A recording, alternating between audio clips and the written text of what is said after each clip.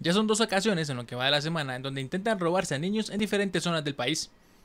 Ahora fue este viernes cuando dos personas de origen filipino intentaron secuestrar a un menor de edad en la clínica Alfredo Bolio en Cartago. La alerta llegó ante la fuerza pública antes de las 11 de la mañana, luego de que llegaran como representantes de una organización de ayuda para niños.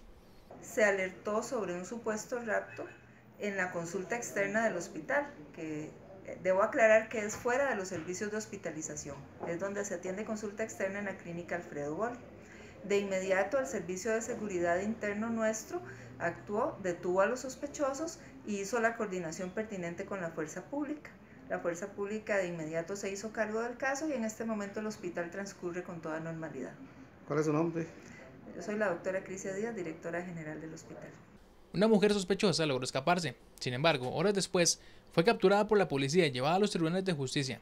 Junto a ellos se encuentra un detenido costarricense de apellido González.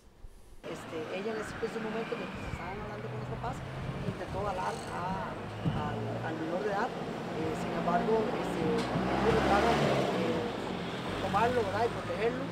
Eh, en eso intervino también el, oficial de seguridad del lugar y este, el hombre filipino se dio a la fuga en ese momento, eh, se escondió entre las instalaciones, la fuerza pública llegó eh, y lo ubicó en uno, de, los, baños del lugar y se logró detener.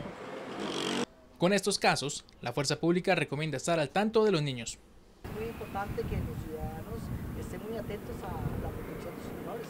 No debemos de confiarnos de, nadie, debemos estar muy pendientes de ellos, acompañarlos en todo momento y sobre todo tener muy pendiente que este, utilicen la plataforma 911 emergencias, que no solamente es para cuando sucede un hecho eh, ya que se ha, se ha concretado como tal, sino que cuando hay algo extraño, algo fuera de su lugar, eh, lo utilicen porque hay una alerta temprana.